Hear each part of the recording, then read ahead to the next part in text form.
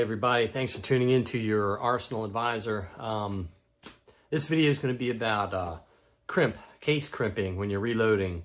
Um, one of the last steps you do um, on in reloading is you apply a crimp to the case mouth against the projectile you've reloaded. Um, for some cartridges, you, you, don't use a crimp because it can affect accuracy, such as uh, bolt action rifles, um, or very powerful cartridges that, you know, if you have other rounds in, in the, the firearm that may recoil and then cause the bullet to move around and change their uh, position with respect to the rest of the case and the loaded with, with powder, etc. Um, so that's also a concern for, for uh, uh, firearms that aren't necessarily semi-automatic.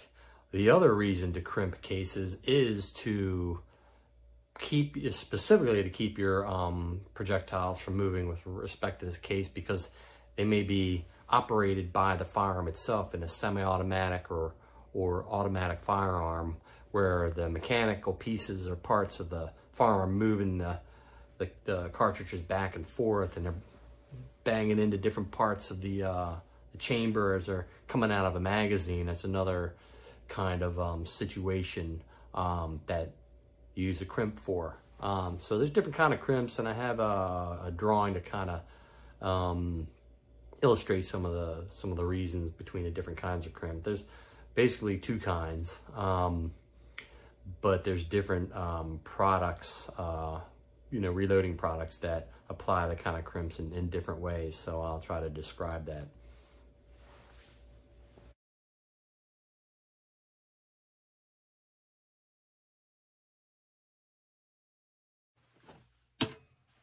All right, let's talk about the crimp here. So we've got roll crimp, taper crimp. Roll crimp is where the shape of your crimp die curls like a roll uh, the edge of the case mouth into the projectile.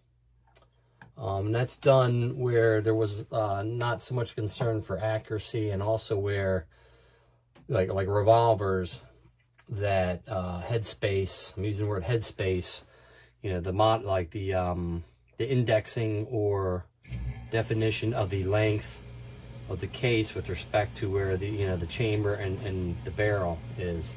Um, headspace is usually a, a, distance from like the bolt face to the uh, end of the case. It's different between bottleneck cartridges and straight wall cartridges. Um, but um, this is more pronounced, this rolling uh, curve into the projectile. Uh, some projectiles have a, uh, a crimping groove. This is like a rifle cartridge. This is like a pistol pistol cartridge or pistol projectile, rifle type projectile. You'll, you'll see this referred to as a crimping groove or a cannelure. Um, and you're supposed to kind of aim the um, case mouth to be right uh, so that cannelure is right there and provides some space for the uh, the brass to roll into or in this case the taper crimp you have more of a gradual reduction in the um, circumference and diameter of the uh, case mouth. Um, but it's also recommended to do at, at a groove. Now certain um, uh, die, uh, reloading die manufacturers, um, they don't, they say you don't require to have a crimping groove because it says it'll make it, uh, the, it'll make it for um, your projectile by just creating that um, at the time of crimping. Um, so there's, there's a couple different things. I was reading my Lyman reloading manual and they describe a, um, a no crimp or a crimp situation. And there, no crimp is uh, for projectile or cartridges where you, you, you need utmost accuracy uh, because they say the crimping you know grips the, the projectile and deforms it a little bit in some cases and I guess that can affect your accuracy in some way. I'm not sure it's because the cartridge deforms whether it's as it's spiraling through the air or whether it's uneven and affects the as it's going down the barrel. I haven't got that far into it. Um, so that's Lyman. It's kind of a no crimp or crimp. And they say you crimp for the sort of the same reasons other manufacturers recommend to use crimp, which I'll get into. Um, so certain revolver cartridges have a rim and they head space off the rim in the back of the cylinder, kind of like I depict over here. Imagine a, a six shooter, you know, revolver uh, where you have like six cylinders, um, and then you have the back of the cylinder like this. You know, that's going to define where the cartridge is ready to where the, the projectile will come out. So roll crimp is used, and that's not going to take away from its position in the cylinder. For um, and that's not a semi-automatic type of cartridge. Uh, now, with respect to um, why crimps are used, uh, the main reason is to keep the projectile stable with respect to where it is in the uh, cartridge. Because, like semi-automatic firearms, they can they, they push the cartridges, you know, into the chambers, and they can hit different, physically hit different parts of the uh, chamber as it comes out of the magazine. Uh, so you can have your projectile shoved further into the case, and that can create dangers. Um, you reduce the case volume uh, when your um, powder is going to be ignited, and that can cause a dangerous situation. So you want you want to try to like provide a little extra pressure from that crimp to keep keep the projectile where it's at. Um, so that occurs in straight walled semi-automatic type pistols as well as this is really a drawing of a chamber but it looks like a bottleneck cartridge. So there's, you know, bottleneck cartridges in semi-automatic and automatic firearms. So that's what, uh, you know, I got to think about. But with respect to, um, let's back up a little bit. So I read about Lyman, you know, they make a lot of equipment. Now I use the Dillon RL550B, and they use, they provide a taper crimp. And when you look at their instructions, it doesn't really, it says that, you know, the taper crimp can preserve accuracy because it puts a slight, you know, it's a slight reduction doesn't really elaborate on it. Uh, I just wanted to make sure before I started this video to see what it said. Um, but with respect to like semi-automatic pistols, the headspace, they say headspace is on the front mouth of the um, cartridge case. That hits the um, right up against where the uh, the barrel starts.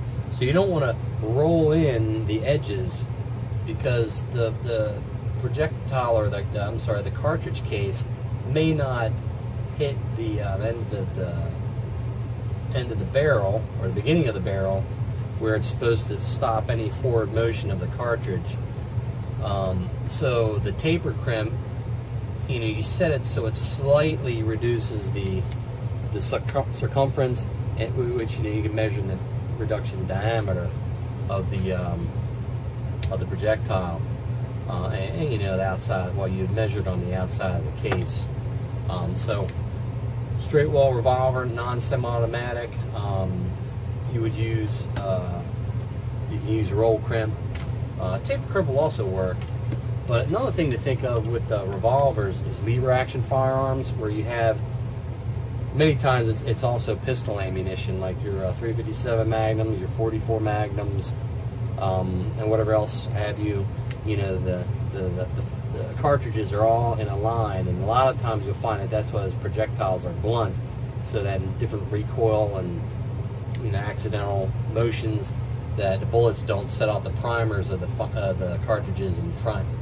Um, so roll crimping is probably the most secure because it's the most um, the most radical uh, deformation of the case mouth compared to a straight wall or a taper crimp.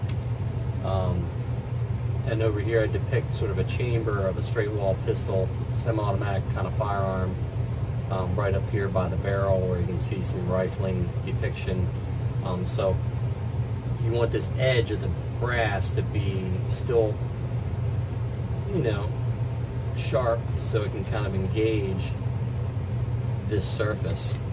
Um, now with respect to um, a bottleneck cartridge, the headspace occurs in the middle of where the shoulder area is of a cartridge, and it's measured down to the bolt, the face of the bolt. That you know this bolt will move in and out uh, on semi-automatic firearms, um, as well as bolt actions. Um, you know, but with the bolt action rifles, you know, your hand can carefully, you know, move the bolts back and forth to pick up ammunition. So there's less of a violent uh, action that you get with the semi-automatic firearms. Um, so, but I just wanted to point out the headspace dimension is usually it's halfway, wherever halfway is with respect to where the uh, face of the bolt is, that dimension. Uh, there's usually a little space between where the barrel starts and where the lands and grooves start. Um, so the neck of the mouth of the case, or the mouth of the case there, neck of the cartridge also would possibly engage here, but I think usually you reload your cases so there's still a little bit of room. You'd be under the headspace of your cartridge, might be just inside the headspace that your uh, chambers um, reamed to. But anyway, so we got roll crimps and taper crimp. Now the Dillon equipment I have, uh, it's like a continuous circle. When I look down into the die, it's a continuous circle um, that just when you set the die into a particular height, it'll put that slight taper in. You know, the more, the deeper down you adjust it. Now, the one that's in the video is a Lee Precision uh, die. They call it the factory crimp, and it's got an internal collet that's relieved in four areas, evenly spaced. And depending upon how you set it, when you, you push the uh, cartridge up into it, um, those sections kind of come together and they make that crimp. And again, you, you adjust it to just to get enough as you need. And I personally try to use as little crimp as possible because I just want that security of the, um, the what a crimp provides but not so much that I'm really deforming in these cases. Uh, actually, the, the Lee Precision um, instructions say that it's okay if you don't have a crimping groove, the die will make it as it, as it crimps. Um, so that's almost opposed to what you read in the Lyman manual where it says you shouldn't crimp on projectiles that don't have a crimping groove. Um, you know, so there's there's a you can see a different philosophy in the different manufacturers. So um, the Dillon equipment that I started reloading with, you know, has a taper crimp, comes with the rifle dies, and it doesn't say you need to have a crimping groove or any of that.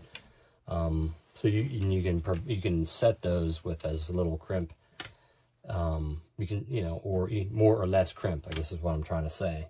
Um, so I just wanted to kind of like demonstrate that. Um, so we got the roll crimp with much more crimp, taper crimp where you just have a little little constriction in of that um the diameter there, whether you have a cannelure or crimping groove or not. Um, yeah, because you got a straight wall type chamber.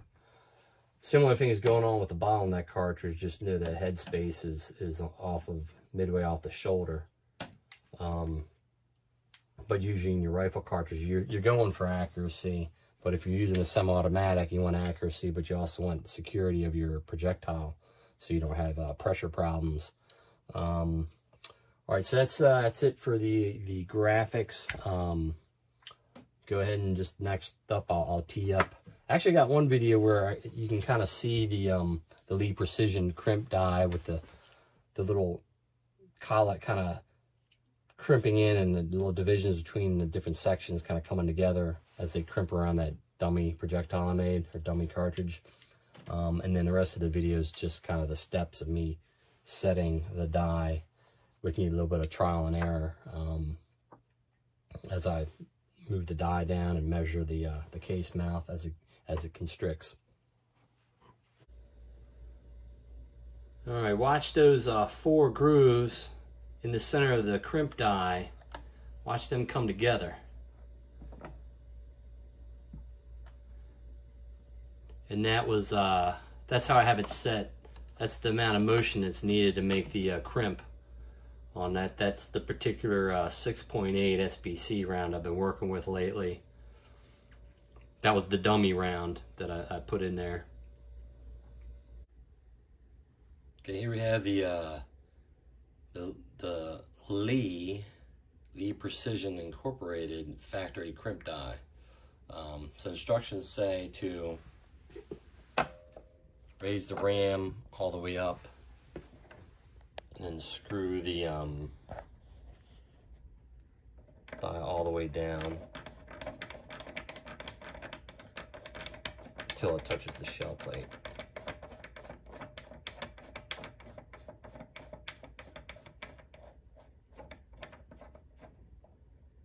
About here.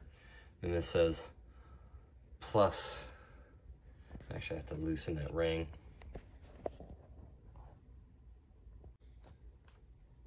Okay, so it's all the way down. It says go half a, half a turn more, but it also says try for the minimal amount of crimp. And I agree with that statement, but that means I should probably back the die out and then just by trial and error, check the um, diameter of the case mouth as I use the crimp, um, crimping die. Um, so that's what I'm going to do. Oh, another point, this uh, lock ring's got a rubber O-ring, so it just kind of locks down by, by I guess, says to tighten it finger tight. Um, so I'll probably use that and maybe maybe that uh, Leatherman tool to kind of hold the, the, the knurled top of the uh, die.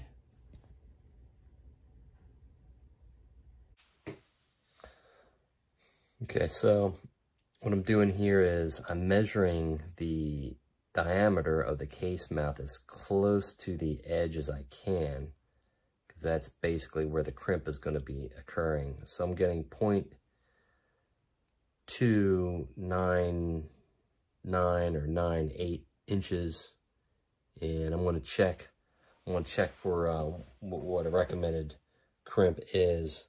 Um, because before I've tried to add a thousandth in the crimp, I think I've seen something as, as large as uh, three thousandths um, diameter reduction via crimp as a recommendation. But I'm of the philosophy of um, using as little as possible. I don't want to over deform the projectile by crimping, but I want some security to kind of guard against the, the projectile moving with semi-automatic um, firearms. we'll see, maybe you can get a little bit more since there's a this cannelure in the uh, projectile allows some space for um, you know the crimping to occur without as much pressure as if you were to get that same amount of crimp with a full uh, non-relieved uh, jacket surface of the projectile. Okay, so right up on crimping, and my Lyman 49th uh, edition manual listed a whole list of calibers and gave a, a diameter. And for 270 and 6.8 SPC, it just listed a diameter 0.277 inches. And in the manual, you'll find things like that. Uh, they call it the groove diameter. Um, it's not exactly the information I was I thought I'd read uh, before, where it said you can crimp like three thousandths. It just gave a specific number. Now these are at 0.298 inches, so we'll see if I can get down to 0.295 or or something like that. I don't know if I'm going to try to crimp it all the way down to 0.277 inches, but it may also depend upon how close I get to the shell plate and how this particular die um,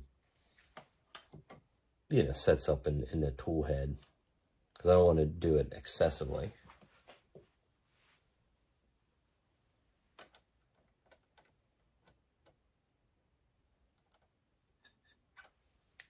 So we'll move it down gradually and then keep measuring it. And right now we're at the uh, starting dimension, 0.298 inches. Let's turn it a little.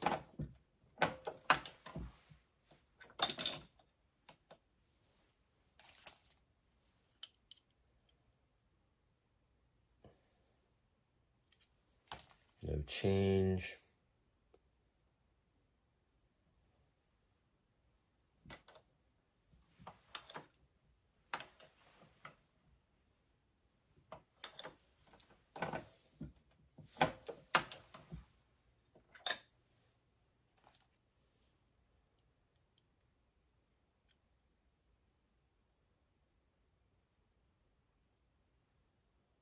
no change.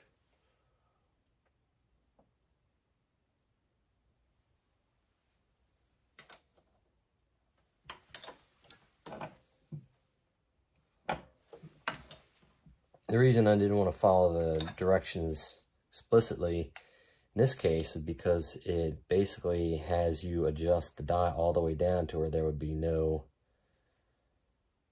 I mean, that would be the, the maximum amount of uh, lowering of the die towards the uh, the case. So wouldn't be able to start from a, a further out length and move in with the like slightly increasing pressure to get the slightly decreasing diameter in the crimp.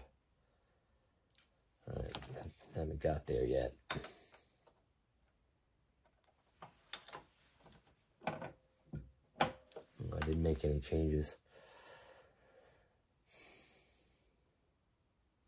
Try to go uniform. I'm using these little teeth on the side of this lock ring to try to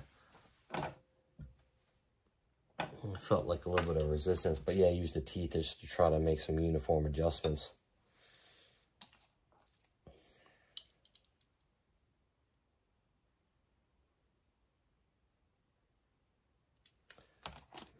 Not quite there yet. It's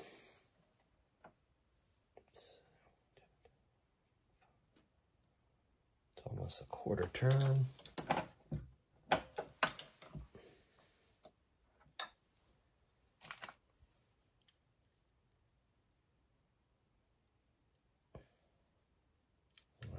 So I want to stop this and just kind of go by trial and error till I get where I need to be. Okay, so I got a uh, crimp of 0 0.29, 0.290 inches. So it's greater than 0.277, um, but it's got uh, it's got the little gaps because uh, the inside the collet, um, there's uh, four sections that um, kind of close in together to make that crimp. And, and you can tell it's working because you can see that it's almost like a,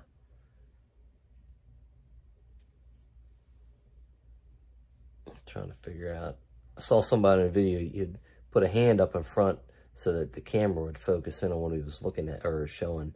Um, kind of, I was trying to do that here. All right, watch those uh, four grooves in the center of the crimp die. Watch them come together. And that was, uh, that's how I have it set. That's the amount of motion that's needed to make the uh, crimp. Okay, so you can see the line from the crimp. It's got a little line parallel to the case mouth, and you get the gap between the little sections in the interior collet. Um, it looks like a good bit. It's a taper crimp, so that's good. Um, probably safe, but I'm going to try to back it off a little bit to see what that gets me. Okay, I kind of moved. I was moving in increments of five of these teeth. I backed it up like a couple, a couple teeth.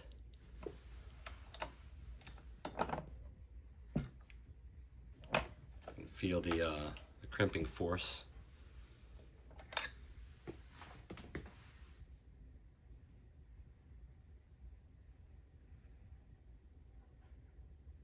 So you can see the line a little mark. Okay, so what I did was I, I tightened this down finger tight while the last cartridge was up inside the uh, the die. That's what the directions said to do. Um, it's supposed to help it lock it in, place better.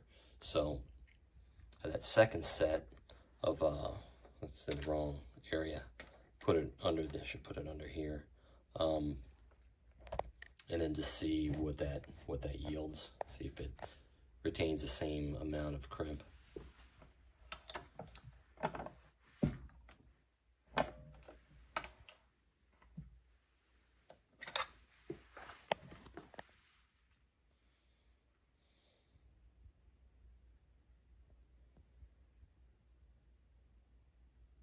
Okay, you can see the crimping marks. I'm gonna go ahead and measure it. Okay, so they're they're crimping down to point. 0.295 inches. It's about four to three to four thousandths less than when they started. I don't want to crimp it all the way down to 0.277. Um, just wanted to put enough on so I could evaluate the uh, performance of the cartridges with a crimp because I'll, for regular um, reloading, I'll, I'll, tend to want to crimp on it.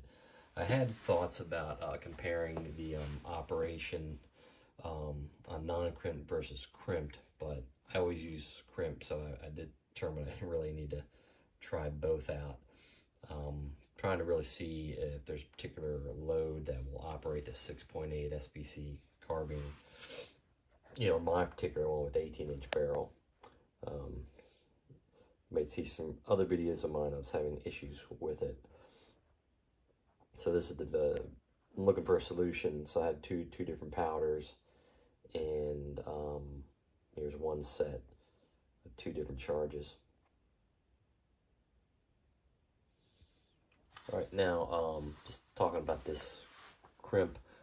I just uh, kind of held it with my fingers. I used uh, a Leatherman tool a little bit to kind of push this lock ring down. It's being forced against an O-ring that's providing a lot of the friction. I think it's pretty, pretty stable. Um, but it's a little different than what I'm used to. Kind of used to um, the Dillons, they just have a lock ring. You just move the die up and down and lock it in place. Um, you know, this other method seems to have a little room for um, needing to maybe go double check it or you know, it's just, I don't know if it's as locked as firm, as the other ones. All right, here we are. We're at the end of the video. Um, that's crimping, case crimping. When I started putting this video together, I didn't really think it was going to have this much material. Um, just like, okay, I use crimp and this is how you set the die and all that, but it's pretty important to know what kind of crimp you need. Um, if you're not going to use it, uh, I mean, some of the manuals, it says how it's optional. So if you're not going to do it, you need to know why you're not doing it and make sure that you're not leaving it out when you should be using the crimp. Um, and then when you do use the crimp, you want to make sure how much to use and when you just want to use just only a little bit of, of crimp. Um, you know, we mentioned different kind of cartridges and where they headspace and um, why you're using the crimp.